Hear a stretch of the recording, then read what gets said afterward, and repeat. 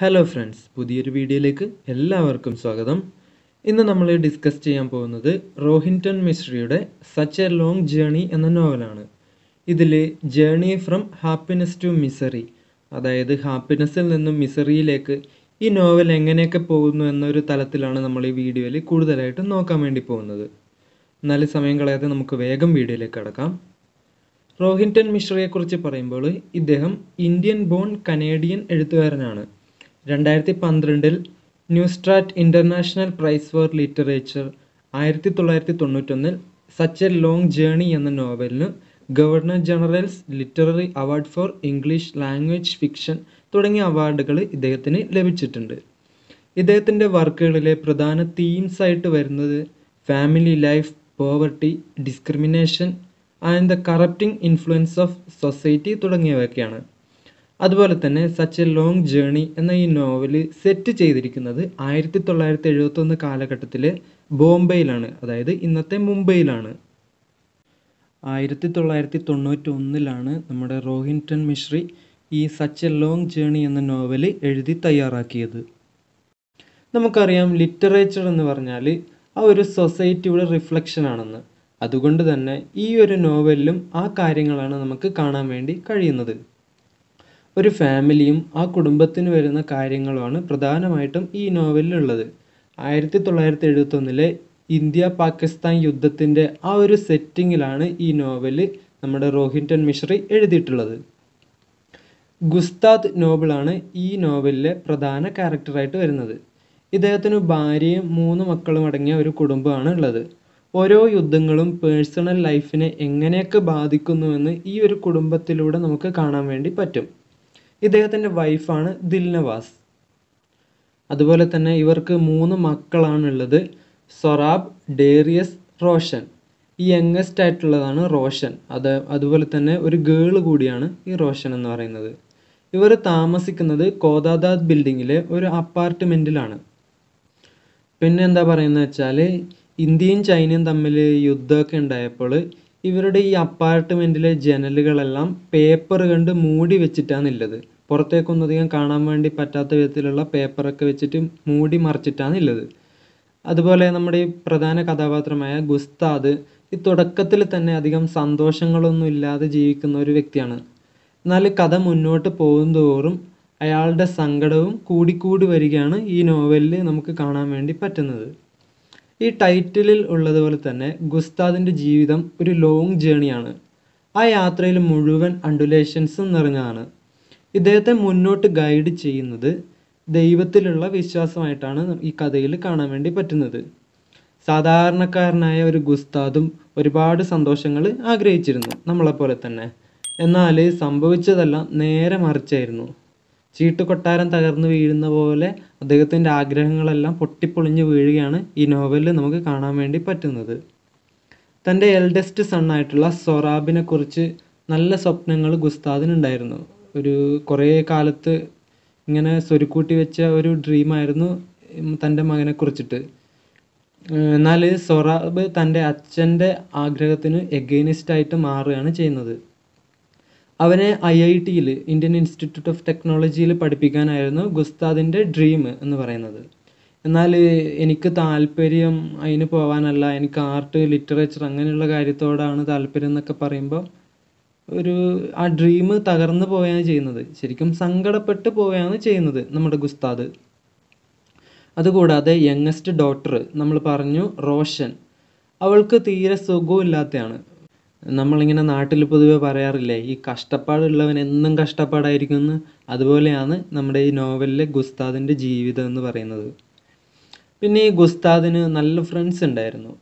Major Jimmy Bilimoria Dinshaw ji ഒക്കെയാണ് ആ ഒരു ഫ്രണ്ട്സിൽ ഉൾപ്പെട്ടിരുന്നത്. അങ്ങനെ ഒരു ദിവസം ഈ ജിമ്മി ബിലിമോറിയ ആരോടും പറയാതെ നാട് വിട്ടു പോകും. ഈ ഗുസ്താദ് അയാളെ സ്വന്തം ബ്രദറായിട്ടാണ് കണ്ടത്. എന്നിട്ടും ഈ ജിമ്മി നാട് വിട്ടു പോകുമ്പോൾ ഒരു വാക്ക് പോലും നമ്മുടെ ഗുസ്താദിനോട് പറഞ്ഞിട്ടില്ല. അത് ഗുസ്താദിന് ഭയങ്കര സങ്കടം ഉണ്ടാക്കുകയാണ് ചെയ്തത്. ഗുസ്താദിന്റെ സ്വന്തം മോനായിട്ടുള്ള ഷൊറാബ് ഐ ഐ ടിക്ക് പോവില്ല എന്ന് പറഞ്ഞതും പിന്നെ സ്വന്തം ബ്രദറായിട്ട് കണ്ട നമ്മുടെ ജിമ്മി ബിലിമോറിയ ഒരു വാക്ക് പോലും പറയാണ്ട് നാട് വിട്ടു പോയതെല്ലാം കൂടി ആയപ്പോൾ നമ്മുടെ ഗുസ്താദ് തകർന്നു പോവുകയാണ് ചെയ്യുന്നത്. കൂടുതൽ സങ്കടത്തിലേക്ക് പോയി. അതുപോലെ നമ്മുടെ ഗുസ്താദിന്റെ വൈഫ് ദിൽനവാസ് എന്ന് നമ്മൾ പറഞ്ഞു. ഈ ഒരു ദിൽനവാസും കുറേ സ്റ്റുപ്പിഡ് ആയിട്ടുള്ള കാര്യങ്ങൾ ചെയ്യുന്നുണ്ട്. മിസ് കുത്പിത എന്ന് പറഞ്ഞിട്ടുള്ള ഒരു ബ്ലാക്ക് മാജിക് ഒക്കെ അറിയുന്ന ഒരു ലേഡി പറഞ്ഞിട്ടാണ് ഈ ദിൽനവാസ് ഓരോന്നിങ്ങനെ ചെയ്തു കൂട്ടി വെക്കുന്നത്. ഈ അച്ഛനും മോനും തമ്മിലുള്ള പ്രശ്നം പരിഹരിക്കാൻ ഈ പ്രശ്നം വെച്ച് നോക്കുക. അതിനുള്ള മറ്റേ പരിഹാരങ്ങൾ കാണുക. ഈ പുതിയ പരിപാടികളൊക്കെ ഇല്ലേ? അതുപോലത്തെ സൂപ്പർസ്റ്റിഷ്യൻസ് ആയിട്ടുള്ള കുറച്ച് കാര്യങ്ങൾ ഇങ്ങനെ സ്റ്റുപ്പിഡ് ആയിട്ടുള്ള കാര്യങ്ങളാണ് ഈ ദിൽനവാസ് ചെയ്യാൻ വേണ്ടി ശ്രമിക്കുന്നത്.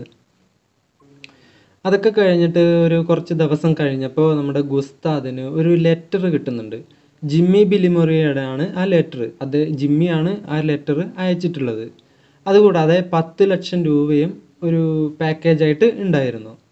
ഈ പത്ത് ലക്ഷം രൂപ ഹൈഡ് ചെയ്ത് വെക്കാൻ തുടങ്ങിയ സമയം തൊട്ട് പിന്നെയും പിന്നെയും ഗുസ്താദിന് പ്രശ്നങ്ങൾ വരാൻ വേണ്ടി തുടങ്ങി. ഒരു ഫേക്ക് അക്കൗണ്ടിൽ ഒരു ഫേക്ക് അക്കൗണ്ട് തുടങ്ങി പണം ബാങ്കിൽ ഇടാനാണ് ജിമ്മി പറഞ്ഞത്. എന്നാൽ ആദ്യം ഗുസ്താദ് അതിന് മടിച്ചു നിന്നു. അപ്പോൾ ഒരു ത്രെട്ടനിങ് നോട്ടീസും അവിടെയുള്ള രണ്ട് മൃഗങ്ങളെയൊക്കെ കൊന്നിട്ട് അതിന്റെ ബോഡിയൊക്കെ അവിടെ ഇട്ടു. അപ്പോൾ ഇദ്ദേഹം നമ്മുടെ ഗുസ്താദ് പണം അങ്ങനെ ബാങ്കിൽ ഡെപ്പോസിറ്റ് ചെയ്യാൻ വേണ്ടി തീരുമാനിക്കുകയാണ് ചെയ്യുന്നത്. എന്നാൽ ഒരു സംശയം തോന്നാണ്ടിരിക്കാൻ വേണ്ടിയിട്ട് ഇദ്ദേഹം കുറേ ഗഡുക്കൾ ഗഡുക്കളായിട്ട് ഇങ്ങനെ പൈസ ആ ബേ ആ ഫേക്ക് അക്കൗണ്ടിൽ ഇടാനാണ് തീരുമാനിക്കുന്നത്. എന്നാൽ ഈ ഒരു കാര്യം ഈ പൈസേരെയും ഈ ജിമ്മി ബിലിമറിയുടെ എല്ലാം കാര്യം നമ്മുടെ ഗുസ്താദ് തന്റെ ഫ്രണ്ടായിട്ടുള്ള ദിൻഷാജിയോട് എല്ലാം തുറന്ന് പറയുന്നുണ്ട്. അതുപോലെ തന്നെ ഈ കാര്യം ആരോടും പറയരുത്. ടോപ്പ് സീക്രട്ട് ആയിട്ട് വെക്കണമെന്നും ഈ ദിൻഷാജിയോട് നമ്മുടെ ഗുസ്താദ് പറയുന്നുണ്ട്. എന്നാൽ ഈ ബാങ്കിൽ ജോലി ചെയ്യുന്ന ലോറി കോണ്ടിനോ എന്ന് പറഞ്ഞിട്ടുള്ള ഒരു ലേഡിയെ ഇംപ്രസ് ചെയ്യാൻ വേണ്ടിയിട്ട് ഒരു സത്യസന്ധനെ പോലെ നമ്മുടെ ദിൻഷാജി എല്ലാ കാര്യങ്ങളും അങ്ങ് വിളമ്പി കൊടുക്കുന്നുണ്ട്.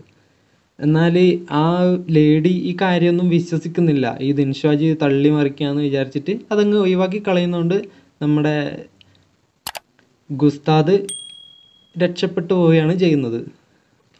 പിന്നെ കുറച്ച് കഴിയുമ്പം ഈ ദിൻഷാജിയുടെ ആരോഗ്യമൊക്കെ ഭയങ്കര മോശമായിട്ട് മാറുന്നുണ്ട്. പിന്നീട് ഇദ്ദേഹം മരിക്കുകയും ചെയ്യുന്നു.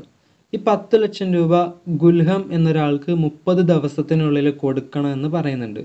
അത് കൊടുക്കുന്ന സമയത്ത് ജിമ്മിയുടെ കത്ത് ഈ ഗുസ്താദിന് ഗുൽഹം കൊടുക്കുന്നു. ഡൽഹിയിലേക്ക് ജിമ്മിയെ കാണാൻ വരണം എന്നായിരുന്നു ആ കത്തിൽ ഉണ്ടായിരുന്നത്. പിന്നീട് ഈ ദിൻ ഈ ദിൻഷാജിയുടെ ഫ്യൂണറൽ സെറമണിയൊക്കെ കഴിഞ്ഞിട്ട് ഗുസ്താദ് ഡൽഹിയിലേക്ക് പോവുകയാണ് ചെയ്യുന്നത്. ജിമ്മി സിക്കായിട്ട് ഹോസ്പിറ്റലിലായിരുന്നു ആ സമയത്ത് ഉണ്ടായിരുന്നത്. എന്നിട്ട് ജിമ്മി ചെയ്ത തെറ്റിനൊക്കെ ഈ ഗുസ്താദിനോട് മാപ്പ് ചോദിക്കുന്നുണ്ട് ആ സമയത്ത്. എന്നാൽ അതൊക്കെ കേട്ടപ്പോൾ നമ്മുടെ ഗുസ്താദിന് കുറച്ച് റിലാക്സേഷനൊക്കെ കിട്ടുന്നുണ്ട്. ആ ഒരു സങ്കടത്തിൽ നിന്ന് കുറച്ചൊരു ഹാപ്പിനെസ്സിലേക്ക് പോകുന്നുണ്ട്. അതൊക്കെ കഴിഞ്ഞ് തിരിച്ച് നാട്ടിലേക്ക് മടങ്ങി വരുമ്പോൾ ജിമ്മി മരിച്ചു എന്ന വാർത്തയാണ് കേൾക്കുന്നത്. അപ്പോൾ നമ്മുടെ ഗുസ്താദിന് ഒരുപാട് സങ്കടമാവുന്നു എന്താണെന്ന് വെച്ചാൽ he's the only mourner at the funeral ഈ ജിമ്മി ബിലിമൊറിയക്ക് അധികം ഫ്രണ്ട്സ് അങ്ങനെ ആരുമില്ല. ഇത് ഈ നമ്മുടെ ഗുസ്താദ് ജിമ്മിയെ ഒരു ബ്രദറായിട്ട് കൂടിയാണ് കണ്ടിരുന്നത്. അപ്പോൾ അദ്ദേഹം മരിച്ചപ്പോൾ ഭയങ്കര സങ്കടമായിപ്പോയി പിന്നെ നമ്മുടെ ഗുസ്താദ് തിരിച്ച് നാട്ടിലൊക്കെ വന്നിട്ട് ആകുമ്പം പിന്നെ ഈ റോഡിന്റെ വികസനം എന്നൊക്കെ പറഞ്ഞിട്ട് ഈ പ്രശ്നം ഉണ്ടാവാൻ വേണ്ടി തുടങ്ങി. ഈ ഫ്ലാറ്റൊക്കെ അപ്പാർട്ട്മെന്റിന്റെ കാര്യങ്ങളൊക്കെ പൊളിക്കണം അങ്ങനെയൊക്കെ പറഞ്ഞിട്ടുള്ള പ്രശ്നങ്ങൾ ഉണ്ടാവാൻ വേണ്ടി തുടങ്ങുന്നത് ഈ ഗുസ്താദിന്റെ സമാധാനം പിന്നെയും പോവുകയാണ് ചെയ്യുന്നത്. അതായത് കുറച്ചെങ്കിലും സന്തോഷം ഉണ്ടായത് പിന്നെയും സങ്കടത്തിലേക്കാണ് പോകുന്നത്. എന്നാൽ അതിനെതിരെ പ്രതിഷേധിച്ചിട്ട് ഒരു ടെഹ്മുൽ എന്ന് പറഞ്ഞ ഒരാൾ ചുമരിന് തലയിടിച്ചിട്ട് അവിടെ തന്നെ മരിച്ചു പോവുകയാണ് ചെയ്യുന്നത്. അപ്പോൾ ആ പ്രശ്നം അവിടെ നിന്ന് ഒതുങ്ങി തീരുകയാണ് ചെയ്യുന്നത്.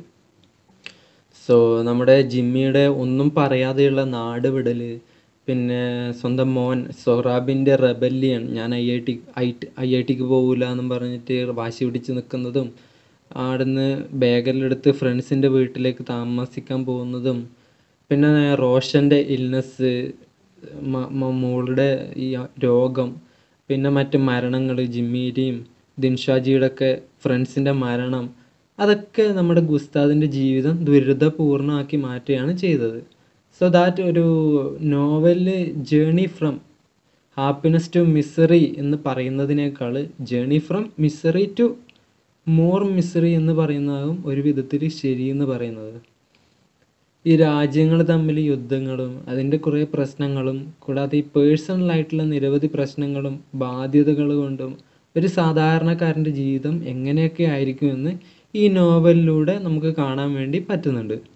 അതുകൂടാതെ ഈ ഗുസ്താദ് എന്ന കഥാപാത്രത്തിലൂടെ ആയിരത്തി തൊള്ളായിരത്തി എഴുപതുകളിൽ ഇന്ത്യയിലുണ്ടായ ജനങ്ങളുടെ ഇന്റർ പേഴ്സണൽ കോൺഫ്ലിക്റ്റുകളും പൊളിറ്റിക്കൽ സ്കാൻഡൽസൊക്കെ കാണിച്ചു തരികയും നമ്മുടെ റോഹിന്റൻ മിശ്രി ചെയ്യുന്നുണ്ട്. അതുപോലെ തന്നെ നമ്മുടെ ഈ കഥയിലെ പ്രധാന കഥാപാത്രമായിട്ടുള്ള ഈ ഗുസ്താദ് നല്ല റിച്ച് ആയിട്ടുള്ള ഫാമിലി ഒന്നുമല്ല എക്കണോമിക്കലി വീക്കായിരുന്നു അതുകൊണ്ട് തന്നെ ഒരു പ്രശ്നം വരുമ്പം എല്ലാത്തിന്റെയും മേലെ ഒരു സമ്മർദ്ദം ഉണ്ടാകും അതിന്റെ ഒപ്പം തന്നെ ഈ സ്വന്തം ഫ്രണ്ട്സ് നാട് വിട്ടു പോകുന്നതും മരിക്കുന്നതും മക്കൾ പറഞ്ഞാൽ കേൾക്കാത്തതും എല്ലാം കൂടി ആയപ്പോൾ അയാളെ അയാളെ ലൈഫ് എന്ന് പറഞ്ഞാൽ ഭയങ്കര മിസറി ദുരിതപൂർണമായി എന്ന് നമുക്ക് പറയാൻ വേണ്ടി പറ്റും. ഒരു സന്തോഷമില്ലാത്ത ജീവിതം. അതുതന്നെയാണ് ഈ നോവലിൽ നമുക്ക് കാണാൻ വേണ്ടി പറ്റുന്നതും. ഇത്രയും കാര്യങ്ങളാണ് ഈ വീഡിയോയിൽ പറയാനുള്ളത്. വീഡിയോ ഇഷ്ടമായിട്ടുണ്ടെങ്കിൽ ലൈക്ക് ഒന്ന് ചെയ്തിട്ട് മാത്രം പോവുക. അതുപോലെ തന്നെ സബ്സ്ക്രൈബ് ചെയ്യുക. അതുപോലെ ബെല്ലൈക്കൺ കൂടി പ്രസ് ചെയ്യുക.